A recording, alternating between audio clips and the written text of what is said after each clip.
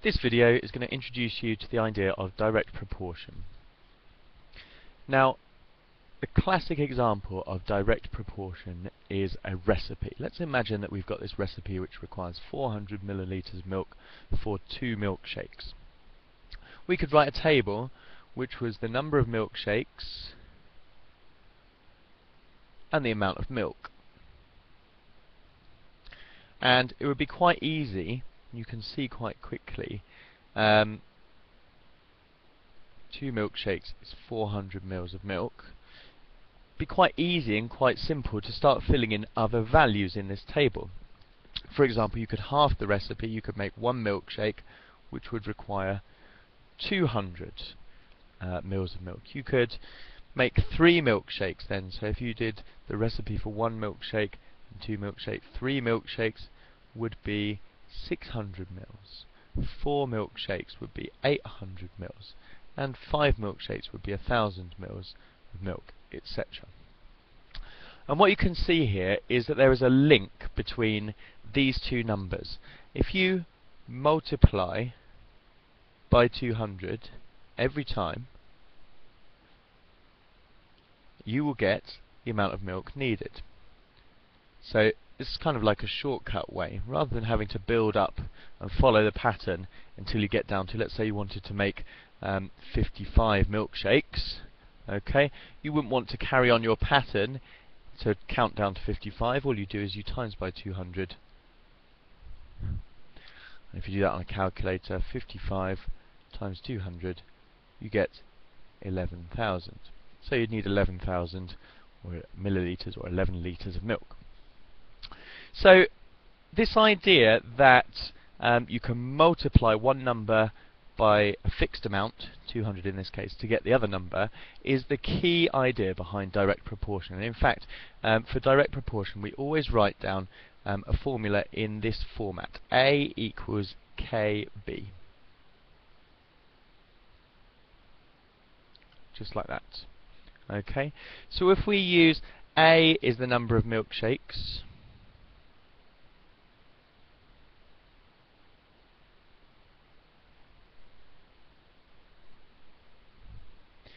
and we use B is the amount of milk.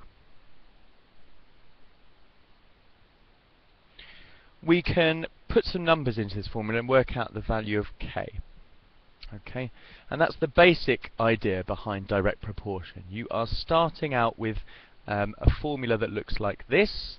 One number equals K times another number. That K is going to be called a constant of proportionality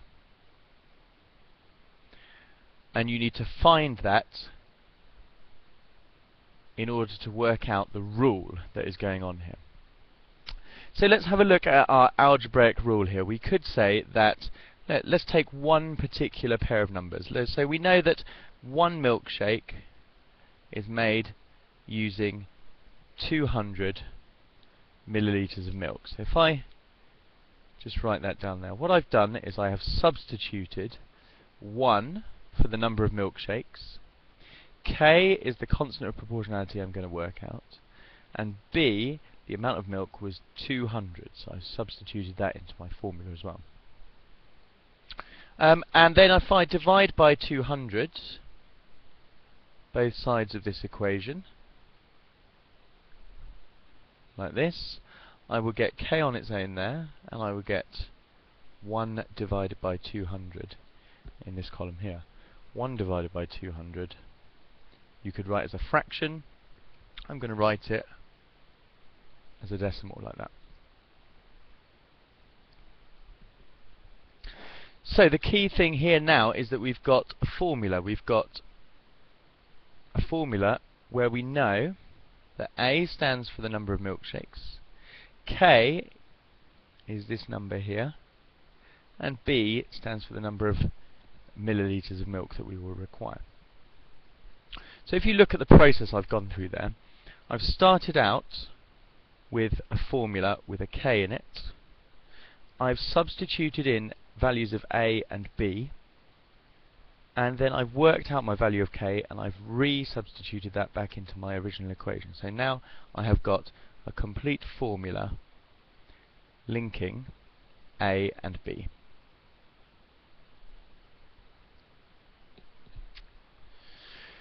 So the key points, I guess, for direct proportion are these. If you are, if you're told that something is directly proportional,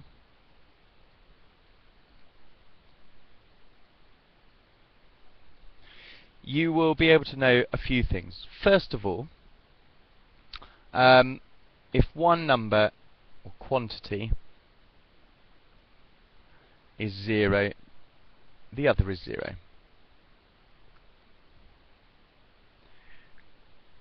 And in my milkshakes example, um, that would correspond to, well, if I was making zero milkshakes, then I would need zero milk. Alright? The second sort of quality of direct proportion is that if one quantity is doubled, or tripled, or quadrupled, but we'll stick with double for the moment. If one quantity is doubled, the other quantity is doubled as well.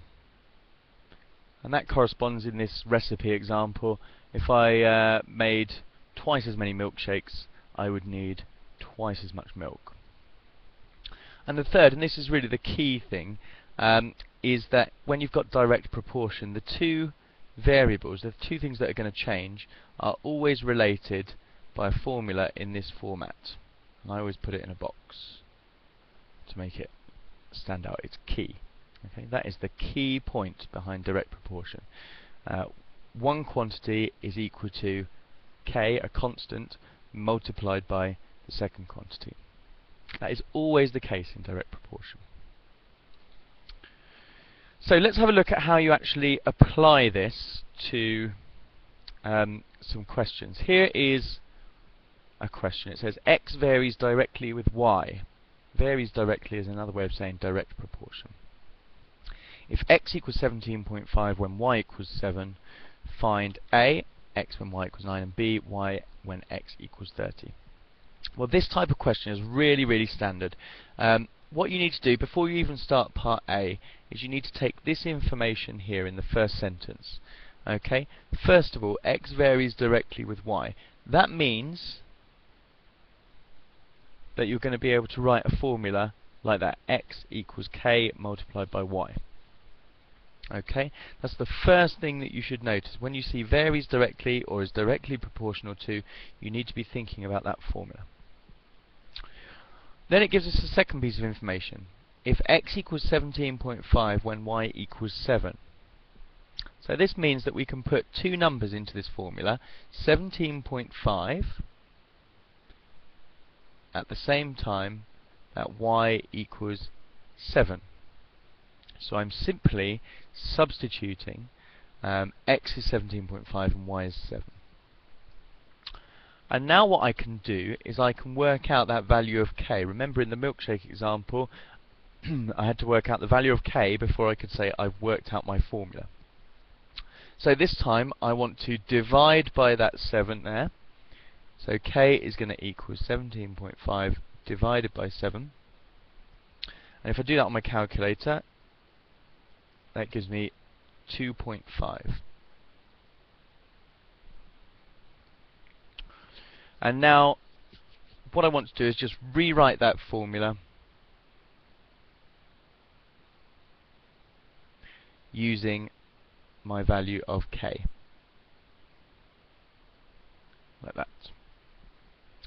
So now I've got this formula. I haven't even started answering part A yet, really.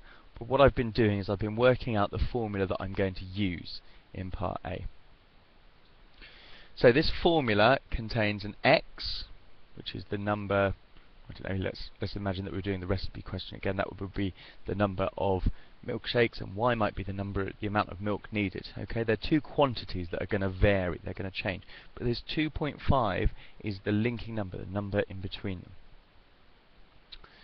So let's have a look at part A now. So part A is ready to be solved. Once we've worked out a formula, we can actually start to substitute some numbers in.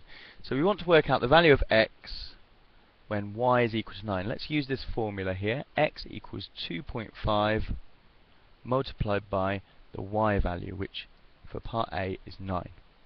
So 2.5 multiplied by 9 is going to give you 22.5. Pretty straightforward. The second part, part B, requires a little bit more effort. We've got to work out the value of y when x equals 30. So again, starting from my formula, I know that the x value is 30 and the y value this time is what I'm trying to work out. So keep the same order that you have in the formula. x equals 2.5 times y. 30 equals 2.5 times y. That's what I've written there. Now I need to get rid of this times by 2.5, so I'm going to divide both sides of my equation by 2.5. And I should get the answer y equals 30 divided by 2.5, which is 12. So I've got my two answers there. Part A, 22.5, and Part B, 12 key point really is, first of all, before you can even start working on A and B, you've got to work out this formula. You've got to get this formula. You've got to know the value of k, the constant of proportionality. Let's just have a look at a worded question as the last thing we're going to do today. The, the distance covered by a train is directly proportional to the time taken for the journey.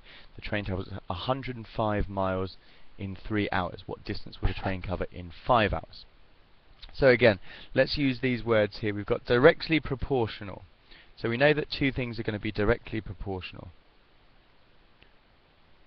What are those two things? Well, the distance covered, so I'm going to use a d, and the time taken, so, and a t. So I'm going to write that d equals kt. Like that.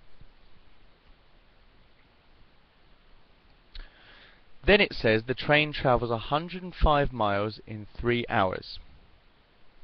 So I can substitute those numbers in. 105 miles for 3 hours. So the distance is 105 and the time is 3. It's the same process I was going through before. I'm now going to work out the value of k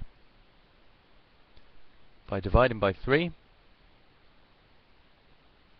and I think that is going to make 35. Okay, so the final thing to do is write in another box here our formula.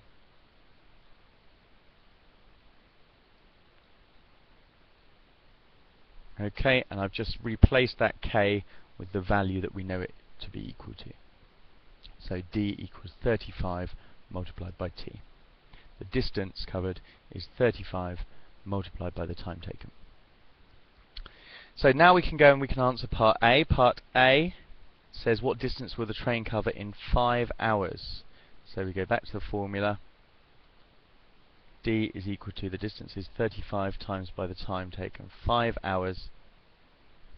So you get 35 times 5 which is 175 miles. Don't forget to include your units.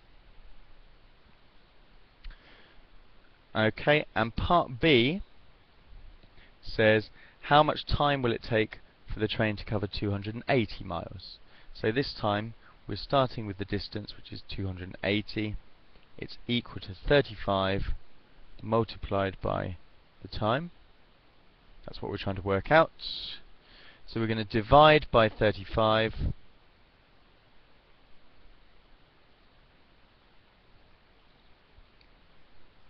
and if we do that 280 divided by 35, I get 8 hours. So let's just review what we've done there and in the previous question. Every time when answering questions like these, um, we've gone from a general formula, which has got a k involved in it, to a specific formula for our situation, where we've worked out the value of k, and then we've used the formula in a couple of different situations.